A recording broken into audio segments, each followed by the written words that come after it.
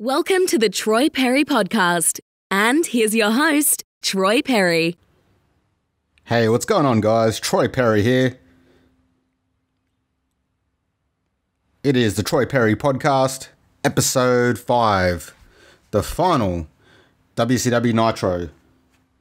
You can listen to all my previous podcasts on wrestling over the last 30 years on all popular podcast formats, whether it's Spotify, Apple Podcasts, Google Podcasts, wherever you like to listen to your podcasts, you should be able to find the Troy Perry podcast. Now, this one's dear to me because during the whole Monday Night Wars between WWF Raw, WCW Nitro, I watch both shows. I'd watch both uh, organizations' pay per views. However, I always had a thing, I was always I always considered myself a WCW fan before a WWF fan. Now, I did only have access to WWF when I was basically a kid. I was able to access WCW through Austar eventually, through the channel TNT. They used to play Nitros on Saturday nights, and at this stage, I was a teenager, so I was able to be at home. I never used to go out too much when I was younger, so Saturday nights was always me watching WCW Nitro. While Raw would be on a little bit of a later time, uh, it'd be on like a Tuesday night here in Australia, like on um, Fox Sports. However, with Nitro, uh, it was also up to date with what was happening in America. While watching Raw, it was, I believe, two weeks behind for a long period of time. They only caught up to being live connected with Australia to America like once SmackDown came into play. But at the time, yeah, Raw was always two weeks behind. Nitro was only a few days behind, so yeah, Nitro was always my go-to and my favorite wrestler of all time. Macho Man Randy Savage was on there. Um, at the time of me watching Nitro regularly, uh, NWO was killing it. They were in the middle of the big feud between uh, NWO and the uh, one and only Sting during his whole I'm the Crow, I'm not with WCW, I'm not with NWO, I'm just me phase. And yeah, just always watching Nitro and watching Sting come from the rafters, and you never knew when he was going to come. And then if he did, he wouldn't say much, or his actions would, yeah. If anyone's actions spoke louder than words, it would have been Sting in that whole like year of 97 uh, early 98 sort of um, phase of the WCW. Um, with this last Nitro, um, obviously at the time, the build up for it was it was deemed uh, the Night of Champions, where all the titles were going to be defended. Um, it was in the process of being bought by Eric Bischoff and some backers at the time. They were called Fusient Media. Um, they were on the verge of buying WCW and giving it a few months off. Like they were calling basically this last WCW Nitro, the Night of Champions. They were just calling it a season finale, not necessarily the very last Nitro. Um, the plan was to originally give a break for the company for a few months and then bring it back for a pay per view called The Big Bang. And it was going to feature mostly the younger guys and obviously some of the older wrestlers if they were willing to take uh, pay cuts. Uh, however, very pretty much within the last week of the final Nitro, uh, Eric Bischoff and company had to pull their offer because AOL Time Warner, who was selling the property, the WCW uh, all the property regarding it, they were pulling their weekly TV deal on TNT. And that was going to be a deal breaker because WCW makes their money through being shown on TV. So the fact that they're going to pull their weekly TV show um, was a no go. And yeah, Eric Bischoff couldn't get anything going for other TV networks in such a short period of time. So yeah, they had to pull their offer, and then they even and then AOL Time Warner eventually reached out to Vince McMahon and the World Wrestling Federation, or Titan Sports, I believe was called back here, and pretty much said to Vince, please buy us, we're selling the company. So Vince bought everything, like the rings, the wrestlers' contracts, um, yeah, well, like the power plant, the all the merchandise, all the the the huge video library, the music. He bought it all for a measly two million stated. Uh, I've heard in other places it was two and a half or three million, but considering at one point WCW was worth a hundred million, um, and even Eric Bischoff and company were going to try and buy the company for about sixty million. The TV deal was there, however, it got pulled, and it was basically worth nothing. And then Vince uh, even though today it looks like he just mostly bought it for the video library so he can um, supply original content through documentaries of, or even go into the, uh, the backgrounds of a lot of the wrestlers that started in WCW and end up in WWF or WWE today.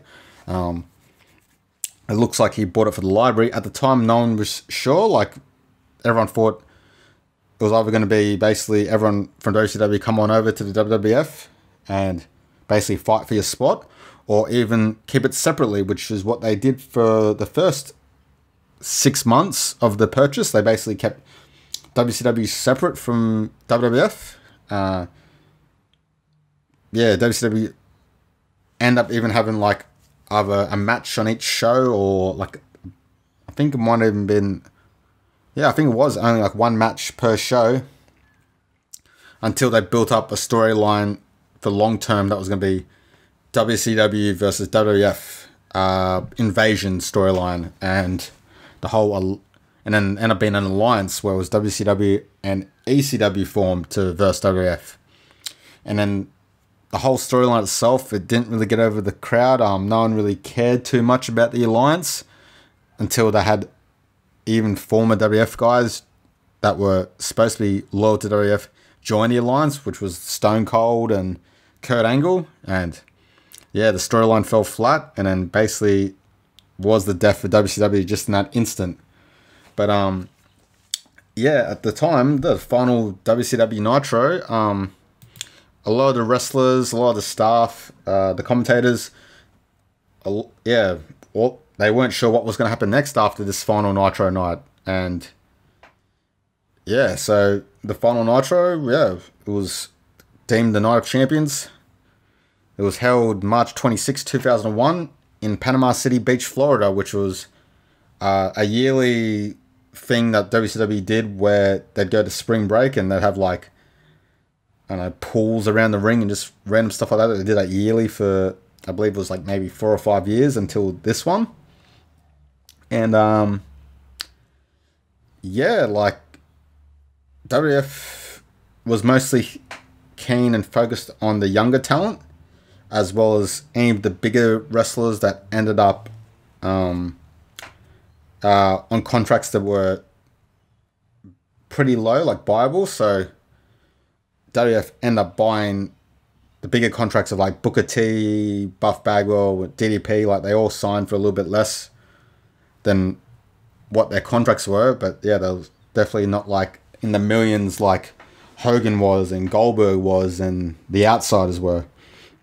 So they end up making more appearances for WWF shortly before them. But uh, this event itself, it started off with Ric Flair coming to the ring, talking about how he can't be bought and how WCW will uh, hold its own legacy and how, yeah, basically was playing the good old babyface and talking about the history of WCW, talking about names like Harley Race and Barry Windham and yeah, just mentioned even those guys as well as the greats and yeah, and then he wants to have one final match on this WCW Nitro, and he wanted it against Sting, who he wrestled on the very first Nitro back in 1995. So yeah, they were hoping for one more go around, and yeah, so that was going to happen later on that show. Uh, yeah, the show started with a bang. Um, straight up the the big match advertised for the event ended up being first, so it was champion versus champion. Uh, Scott Steiner was the WCW World Champion, and he was versing Booker T, who was the US Champion. Um, yeah, they've had many matches before this one, so it was basically going to be good unless something uh, drastic happened between uh, moves or whatnot. And um, yeah, even though they, they only wrestled uh, listed here is five minutes and eight seconds. Uh, it felt a little bit longer, but it was also full of action in that five minutes. Like there was no slowdown periods. Um, uh, visually, it looked like Scott Steiner was suffering from an injury. At the time when I watched this, I thought he must have just had some sort of foot injury, but he actually has some sort of uh, condition called drop foot. I haven't looked too much into it, but he had it at this time. So as you can see, one of his feet are heavily bandaged up. Um, yeah, so he must look like he just gutted it through, and it seemed like it was the genuine professional for at least this night. Um, yeah, he on the very last Nitro, he put Booker T over. Booker T beat him cleanly with the bookend. Um, yeah, Booker T looked. They WCW were trying to make Booker T very much like The Rock at the time. Like he had his own catchphrases. He was just super cool and yeah, just yeah, like he had the catchphrases of uh, "Don't hate the player, hate the game," and "Save the drama for your mama." and yeah, so they definitely had some catchphrases for him to use, and he heavily used them weekly. Um, yeah, so he ended up leaving that Nitro as a double champion. Um, yeah, it was probably the right decision considering um, how over Booker T was to the fans and how good he would have came off crossover wise for WWF. And yeah, shortly after WCW got bought out, he was straight into the WWF storyline. He was the main guy for WCW uh, for that majority of the storyline. And he carried the WCW title over to um, like events like SummerSlam and stuff. And you know, he lost the belt to The Rock, I believe. However, he has genuine respect in the locker room and is still around today, like on like WWE like panel shows, like backstage or the pre-shows on pay-per-views. But um, yeah, he's they play pulled the trigger a bit late on Booker T. Um, they end up if he was going to get a push and be world champion a lot earlier than he should have, it would have been uh, during the period where he um, got a title shot against Triple H at WrestleMania. I believe it was. I'm not sure exactly which WrestleMania it was. I have to look into it. But basically, the storyline was Triple H was the heel champion, Booker T was the underdog babyface. The whole feud between them, Triple H was killing them in promos, killing them in matches. So everyone just assumed Booker T was going to win at this WrestleMania, and um, yeah, he ended up losing cleanly to Triple H, and everyone was, what the hell? Like, and not only that, it made Booker T look super weak because Triple H would hit his pedigree and he literally would take, it felt like years, but it's probably about 20 seconds to roll over to put a hand over Booker T for the pin. And considering the long pause that occurred, everyone actually thought Booker T would kick out and he didn't. And everyone was like, that's it? Like, that's yeah, so that was a pretty bad one to cop as a Booker T fan. And then, yeah, he ended up being King Booker, and then that's when he ended up getting a push as a heel champion, feuding with guys like, uh, I think he ended up winning the title off Rey Mysterio when he had the belt. Um, he also had a good feud with Batista when Batista was on the rise as being one of the main guys. Um, yeah, he ended up commentating for a bit of period, um, mostly commentating on Raw. And now, yeah, he's got his own podcast, got his own uh, wrestling school, wrestling organization. I believe it's called Reality of Wrestling, I believe. So, yeah, he's definitely uh, killing it in the, in the game of wrestling. Uh, the, oh, back on track. Uh, the very next match was to determine the number one contender for the WCW Cruiserweight Tag Team Championship. Uh, yeah, so only the week before at the Greed pay per view, they brought in the Cruiserweight Tag Team Championship. Um, that was determined through a tournament on the previous weeks, and the winners of the tournament ended up being Elix Skipper and Kid Romeo. So yeah, the winner of this match would get a title shot at them on this final Nitro, and the teams were three count, which was Evan Karagias and Shannon Moore, the Young Dragons, which which was Kaz Hayashi and Yang, and then the Filthy Animals, which was Rey Mysterio Jr. and Billy Kidman. The match was pretty quick. Everyone hit all their spots and finishes.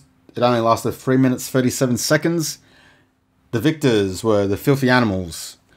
So later on that same show, yeah, Rey Mysterio and Kidman would get a title shot. Uh, the next match, it was Sugar Shane Helms defending his Cruiserweight Championship against Chavo Guerrero Jr. Uh, Shane Helms came out. He had this whole like new theme music was rapping about vertebreakers. I'm gonna break your spine, a vertebreaker. And then he's talking about his background, and he's pretty much rapping the whole video um, walkout. And then he had a bunch of uh, dance girls with him called the Sugar Babes, who I wasn't able to look into it, but as far as I know, the Sugar Babes look like the Nitro Girls, which were basically the Nitro Girls were very popular in the late 90s, coming out dancing in between uh, matches during the commercial breaks of the crowd. Um, and then yeah, then Vince Russo and Eric Bischoff tried to add them into storylines, and a lot of them were pretty much forced to wrestle. And if they didn't wrestle, they should leave the company. So some of them stayed around, and some of them, even like Stacy Keibler, was formed through the Nitro Girls. So if it was for Nitro Girls, Stacy Keibler play wouldn't have been in WCW after, and wouldn't have been in WF after, and then she got some notoriety later on, basically being uh, going on Dancing with the Stars and also known to be uh, a girlfriend of George Clooney's. Um, but yeah, she was very popular at the end of WCW and in her early WF days. Um, yeah, I'll speak more about Stacy in a second. Um, but the next match it was the Natural Born Thrillers defending their tag team title against Team Canada. So at the time, the Natural Born Thrillers was Sean O'Haire and Chuck Palumbo. Uh, team Canada was Mike Awesome and Lance Storm. Uh, this match only went for 3 minutes and 20 seconds. Uh, the Natural Born Thrillers end up defending the title. Um, in case you see this constant theme here, a lot of these matches were advertised on the previous Nitro. However, all these matches were pretty brief just due to now the new plan was WF had taken over, so they had to fit in all their segments because during all these segments it was mostly Vincent McMahon bragging about now owning WCW as well as um, talking down about certain WCW wrestlers in each segment and there was also the segments that were involving like Trish Stratus and uh, William Regal and Michael Cole, and yeah, they squeezed in nearly a segment in between each match of WF related content. Um, yeah, so the match was always going to be pretty tight considering that Nitro is down to two hours here. So yeah, these none of these matches would be going down as classics, but they're just getting the guys that were advertised and onto the TV screen as well as all the titles defended. So um, yeah, the very next match, uh, it was advertised to happen. So I had a feeling if it wasn't advertised, I probably wouldn't have had it happen. But basically, it was Shawn Stasiak, accompanied by Stacy Keibler, who at the time they were a TV couple. Uh, they were versing Bam Bam Bigelow. And if Shawn Stasiak lost, he'd have to get his head shaved and tattooed by Bam Bam after the match. Um, yeah, that was never happening. Um, yeah, the match lasted a minute 24.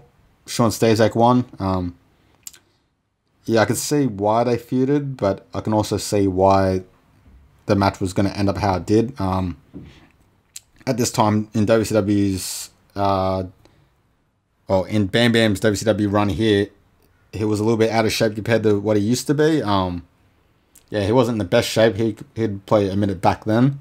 Um, and yeah, and Shawn Stasiak never put on like a five star match, so yeah, it was definitely going to go that way. And at least they kept it short, but yeah, they could have done without this match and probably could have easily done another match, possibly involving some other guys that weren't on this card, like Jeff Jarrett or Buff Bagwell or Lex Luger. Um, the next match, it was for the tag team championship. Um, yeah, the champs, Elix Skipper and Kid Romeo defended their belt against the Filthy Animals, Rey Mysterio Jr. and Billy Kidman. Uh, it lasted 4 minutes 43 seconds, with the Filthy Animals being the new Cruiserweight Tag Team Champions. Uh, the belts are pretty ugly. Um, I could see why they sort of pushed for a Cruiserweight Tag Team division, just because there was so many Cruiserweights on the on like all in WCW at the time. But yeah, you could see it wasn't gonna uh, go over to WF. But yeah, it was pretty cool to see them with the belts, and I'm wondering if those two guys have those belts on their walls or something. But yeah, they they end up being the very last cruiserweight tag team champions.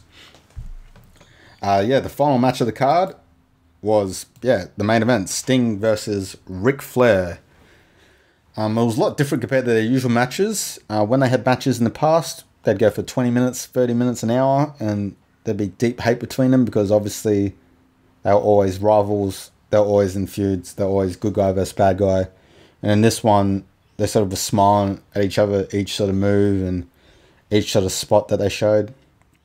Yeah, just simply ended with um, both of them doing all their usual spots. Uh, Sting doing his not uh, doing his thing where he gets a knife edge chop and he's unaffected and he starts banging his chest like a caveman and Ric Flair doing his usual spots like fall into the ground face first and yeah.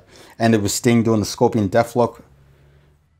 Ric Flair tapping in 7 minutes 19 seconds and then that was the very last match in WCW Nitro history and yeah ended the match with them two embracing and having a, both their arms raised and yeah and then the, the show itself um, ended with uh, simulcast, which was done by Vince McMahon and WWF. So basically, um, the segment it was going to be shown live to Nitro and live to the crowd for Raw, which was uh, held at the same time in Cleveland, Ohio.